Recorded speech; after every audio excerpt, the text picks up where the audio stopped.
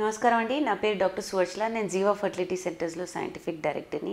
సంతానలేమి సమస్యతో బాధపడుతున్నప్పుడు ఒక దంపతి మమ్మల్ని మా దగ్గరికి వచ్చిన తర్వాత కొన్ని పరీక్షలు చేయడం జరుగుతుంది. ఆడోళ్ళకి కొన్ని పరీక్షలు ఉంటాయి హస్బెండ్కి కొన్ని పరీక్షలు ఉంటాయి. ఈ పరీక్షలు చేసిన తర్వాత ఈ రిపోర్ట్స్ బట్టి ప్రాబ్లం ఎక్కడుందో చూసి పరిష్కారం ఇవ్వడం జరుగుతుంది. కానీ కొన్నిసార్లు అన్నీ బాగుంటాయండి. అంటే భార్యకి పీరియడ్స్ రెగ్యులర్గా ఉంటాయి ట్యూబ్స్ ఓపెన్గా ఉంటాయి. ట్యూబ్స్ ఎక్కడైతే అన్నం విడుదలైన తర్వాత ఫలదీకరణం అవుతుందో ఆ ట్యూబ్స్ బాగుంటాయి. గర్భసంచిలో ఏం ప్రాబ్లమ్స్ ఉండవు. హార్మోన్ లెవెల్స్ కూడా బాగుంటాయి. వెయిట్ బిఎంఐ అవన్నీ కూడా చాలా మెయింటైన్డ్గా ఉంటాయి అన్నమాట సో తనలో ఏం ప్రాబ్లం లేనప్పుడు ఎక్కడ ప్రాబ్లం ఉందో అనేది కనిపెట్టలేము. హస్బెండ్లో కూడా సీమన్ అనాలిసిస్ చేసినప్పుడు అన్నీ కరెక్ట్గా ఉంటాయి. వీరకణాల పరీక్ష చేసినప్పుడు కౌంట్ నంబర్ కదలిక ఆకారం అన్నీ బాగుంటాయి. కానీ ప్రెగ్నెన్సీ రాకుండా ఉంటారనమాట ఇలాంటి పరిస్థితిని అన్ఎక్స్ప్లెయిన్డ్ ఇన్ఫర్టిలిటీ అనడం అనడం జరుగుతుందనమాట సో అన్ఎక్స్ప్లెయిన్ ఇన్ఫర్టిలిటీ అంటే అన్నీ బాగున్నట్టే ఉంటే కానీ ప్రెగ్నెన్సీ రావట్లేదు. సో ఇది చాలా ట్రిక్కీ సిచ్యువేషన్ ఏంటంటే ప్రాబ్లం ఎక్కడ ఉందో మనకు తెలియట్లేదు కానీ ప్రెగ్నెన్సీ రావట్లేదు.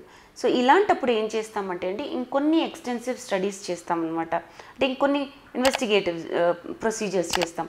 ప్రొసీజర్ అంటే మరి ఆపరేషన్స్ లాగా కాదు చిన్న టెస్ట్లు అనమాట వీర్య కణాల్లో ఏంటంటే డిఎన్ఏ ఫ్రాగ్మెంటేషన్ టెస్ట్ అని ఉంటుంది. ఇది చాలా సింపుల్.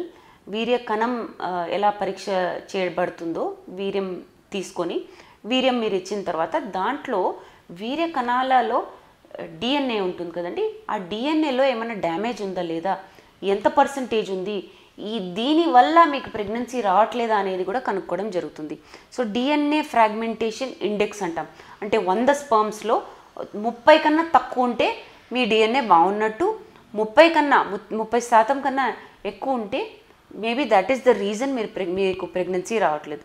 సో ఈ డిఎన్ఏ ఫ్రాగ్మెంటేషన్ ఎక్కువ ఉండడానికి చాలా కారణాలు ఉంటాయి. స్మోకింగ్ ఉండొచ్చు ఆల్కహాల్ ఉండొచ్చు మీ స్లీప్ ప్యాటర్న్స్ ఉండొచ్చు మీరు ఏదైనా డ్రగ్స్ మీద ఉండొచ్చు కోర్స్ డయాబెటీస్ ఉండొచ్చు ఓవర్ వెయిట్ ఉండొచ్చు or exposure to heat and chemical ఎక్కువ ఉండొచ్చు మీకు. సో ఈ హిస్టరీ టేకింగ్లో ఇదంతా తేలుతుందనమాట ఆఫ్టర్ డిఎఫ్ఐ చాలా ఎక్కువ ఉందంటే చూడడం జరుగుతుంది. దీనికి కారణం ఏంటో అనేది చూడడం జరుగుతుంది అనమాట సో ఇదొక చాలా ఇంట్రెస్టింగ్ టెస్ట్ ఇప్పుడు చాలామందికి చేయడం జరుగుతుంది. ఎస్పెషలీ అన్ఎక్స్ప్లెయిన్ ఇన్ఫర్టిలిటీలో బహుశా ఇది కారణం ఉండొచ్చు అని తేల్చడానికి. ఫీమేల్స్లో ఏంటంటే అండి బేసిక్లీ అన్నీ బాగున్నాగా కూడా ప్రెగ్నెన్సీ రావట్లేదంటే ఏజ్ సహకరిస్తుంటే డెఫినెట్గా ఓవులేషన్ ఇండక్షన్ చేయడం జరుగుతుంది అంటే మాత్రలు ఇచ్చి అండాలు పెరిగిన తర్వాత వాళ్ళిద్దరిని ట్రై చేయడం జరుగుతుందన్నమాట.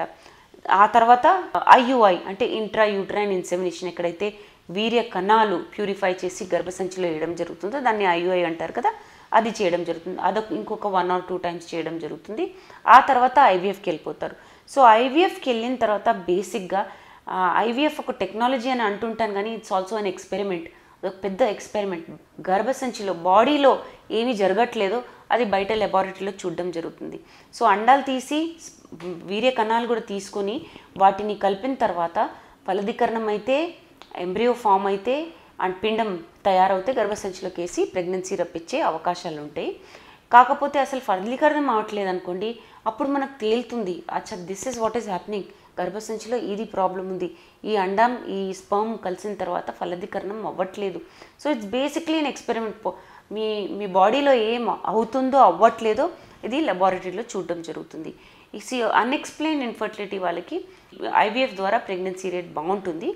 అండ్ uh, ఎందుకంటే ఆ పిండాలు మనం రెడీ చేసిన తర్వాత గర్భసంచి కూడా పెరగడానికి మందులు ఇచ్చి ఈ పిండం గర్భసంచిలోకి వేస్తే సక్సెస్ రేట్ హై ఉంటుంది.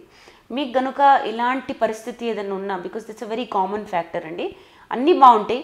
ఏది చెప్పడానికి ఉండదు థైరాయిడ్ లెవెల్స్ బాగుంటాయి డయాబెటీస్ ఉండదు పీసీఓడి ఉండదు ఎండోమెట్రియోసిస్ ఉండదు అన్నీ కరెక్ట్గా ఉంటాయి. పీరియడ్స్ రెగ్యులర్గా ఉంటాయి హార్మోన్స్ రెగ్యులర్గా ఉంటాయి. సో ఇలాంటి ప్రాబ్లమ్స్ ఉంటే ఖచ్చితంగా మమ్మల్ని సంప్రదించండి. వివరంగా చూసి మీ ప్రాబ్లం ఏంటో లేదా దీనికి పరిష్కారం ఏంటో చెప్పడం జరుగుతుందన్నమాట. Thank you